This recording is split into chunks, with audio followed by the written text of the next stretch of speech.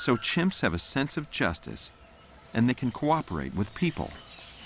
Can they collaborate spontaneously with each other? Researchers also from the Max Planck Institute placed fruit on a board just out of a chimpanzee's reach. The chimps are behind bars, both to keep them from the food and because they can be impulsive, strong, and dangerous. When a solo chimp can reach both ends of a rope, it hauls them in and gets all the food. But on some trials, the ends are too far apart. If the chimp pulls just one end, the rope unthreads. The chimp has another option. He can unlock a door to bring in a helper who's been watching.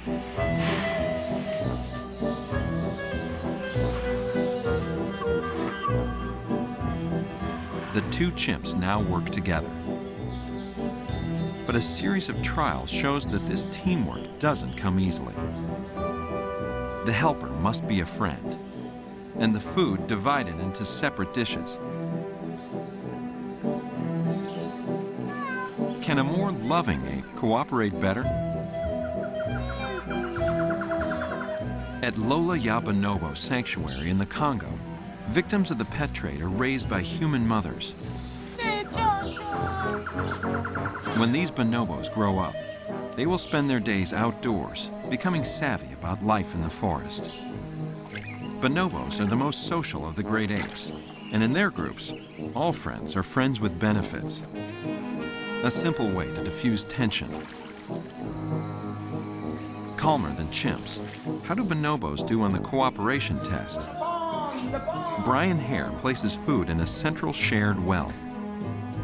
Okay, ready? One, two, three. All the food is in the same dish. So it's very easy for one individual to bump the other individual out of the way and steal it all. Okay, Nikasi. Okay, one, two, three, go! It takes the bonobos a while to get on task.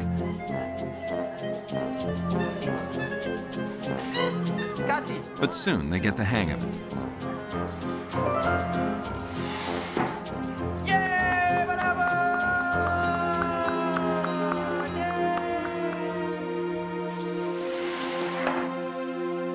With their more congenial temperaments, bonobos are more cooperative than chimps are.